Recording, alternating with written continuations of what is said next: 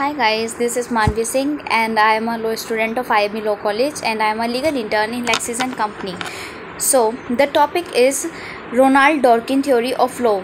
Ronald Dworkin has been has based his theory of law on his ongoing critique of positivity theory of laws, especially the theory developed by Hartz in the concept of law as Dworkin believed that Hart's theory was the ruling theory of law.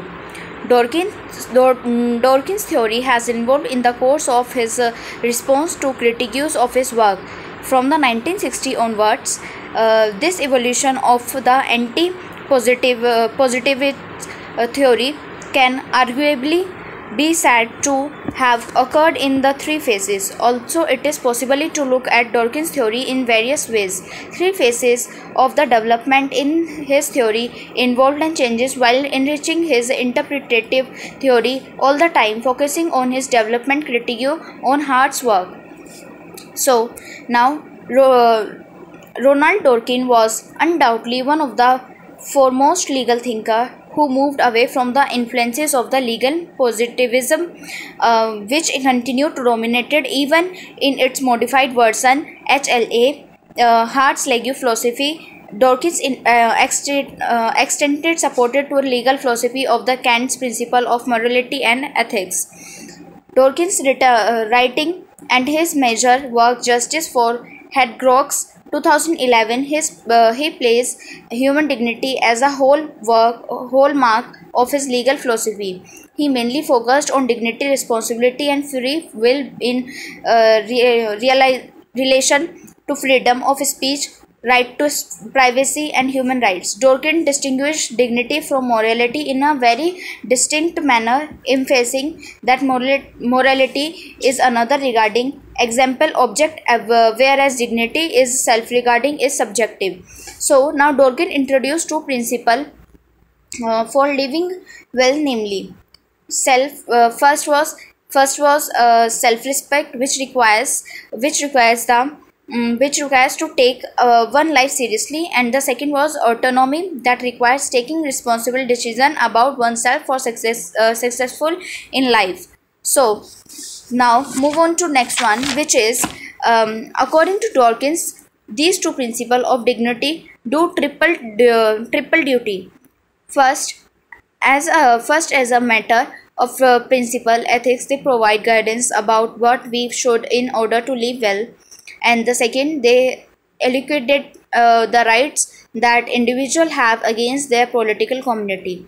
And the third was they uh, account for the moral duties we own to others. So now the principle of the dignity that Dworkin defines might play a valuable role in these first two domains, even when this principle do possibly entail uh, more duties of the particular scope. That scope is often significantly weaker, or in some cases significantly stronger than many non-constitutionalists uh, would endorse endorse throughout his uh, writing on law and legal philosophy.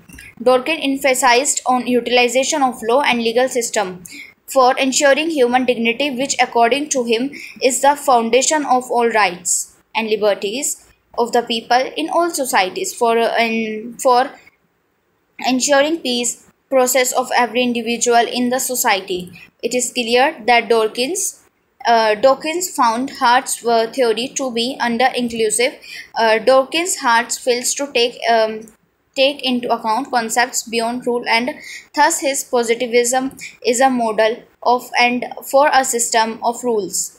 And it is uh, and its central notions of a single fundamental text for law forces us forces us to mission the role, role of standard which are not rules. In other words, by limiting the scope of law to only rules that can be identified by the rule of recognizing, Hart fails to consider the role of existing body of customs, for example, the, ro- the royal assent and other uh, prerogative power in the British legal system um, as law uh, in the British legal system in law as well as the concept such as principle uh, such as principle that can be a such a proposal uh, proposition uh, based on the concept that the uh, fact of the law fact of the law is such that its validity uh, must not be de- uh, derived from the justice it can be deliver or injustice.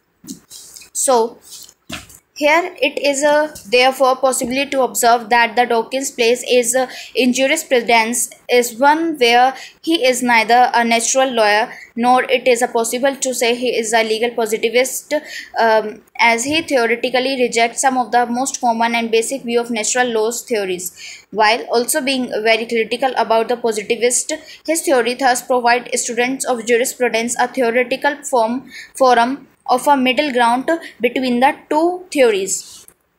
Now, conclusion of this theory, which is given by Ronald Dawkins.